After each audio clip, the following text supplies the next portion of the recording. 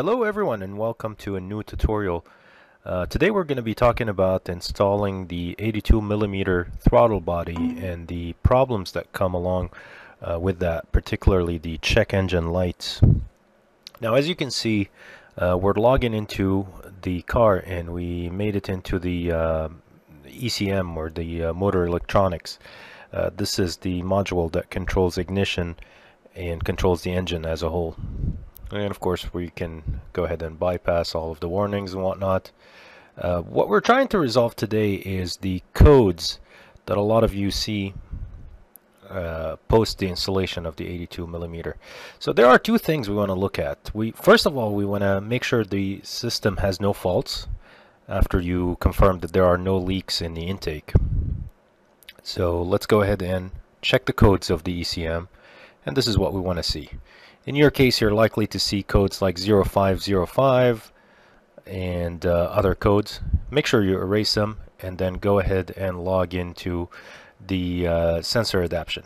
Now, as you can see, the N1, N2, all of these entries, that means you have uh, the, the ECM has completed the self-adaption. So we want to erase that and allow the system to start over. So we're going to go to default initialization and there are some conditions here that need to be met. This will actually reset the throttle body and uh, it will allow the ECM to uh, learn the start point, the zero uh, angle and the 180 angle of the throttle body. So let's go ahead and say yes, we do want to reset. We want to make sure all of these conditions are met before we do, but uh, for now let's click yes. It's going to ask us to switch the ignition off, wait for 10 seconds until everything has reset. And then at the end of the 10 seconds, it's going to ask us to turn the ignition back on. Let's do that. And that will reset the learning process. And now, as you drive the car, the uh, the engine will readapt itself. It will try to to learn the limits of uh, sensors and it will try to learn the throttle ends as well. To confirm that we've done uh, the reset, let's go back and check the adaption. And as you can see, I have dashes in there. I don't have values anymore, which means the reset was successful. Next, the other thing we want to do is change the idle speed. And for that, we're going to go to the learning, uh, we're going to get out of the learning processes and uh, we're going to go to correction programming. Here we can see we have area to uh, manipulate the uh, idle speed in P position and N position. Uh, and obviously there's a coolant temperature uh, condition that needs to be met. Make sure that is met and the engine is running.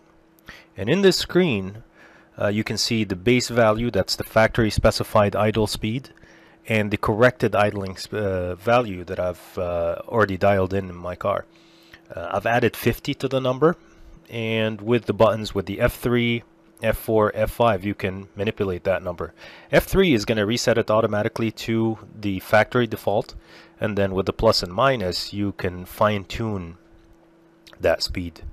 Um, the recommendation is to add 50 to the factory setting and that will allow the 82 millimeter throttle body uh, to uh, idle smoothly for one and for two it will make it easier for the ECM to meet the condition it's looking for at a higher idle speed as far as the reading of the uh, air mass uh, meter and it will make it easier for the engine uh, to meet the condition that will not throw the 0505 uh, error code or any other error codes. Next we want to adjust the idle speed in uh, the rest of the gears so anything uh, beside P and uh, N.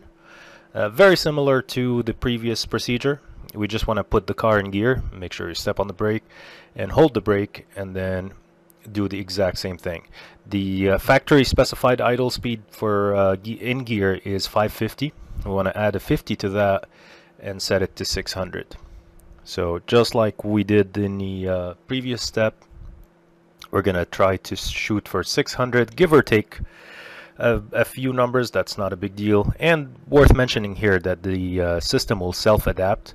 So even if you cannot, the, the actual speed is not exactly where you want it to be, as long as the corrected idling specified speed is where you want it to be, the car will eventually readapt.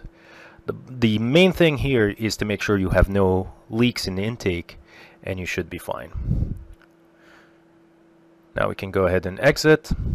And the good news is these uh, automatically store, so we don't have to worry about uh, storing the values. And just to confirm, I'm going to log back in into the speed for the P and make sure it is still giving me the same number. So as you can see here, my actual engine speed is uh, going up and down around 700 where I want it to be. And that's it. This is how you do it. Uh, hopefully this will give you uh, the chance to drive your car with 82 millimeter throttle body and without any codes. Good luck. Talk to you later.